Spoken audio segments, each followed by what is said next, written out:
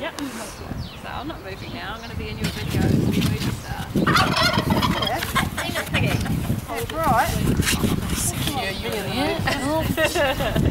Well, we made her that pretty house down there. Oh.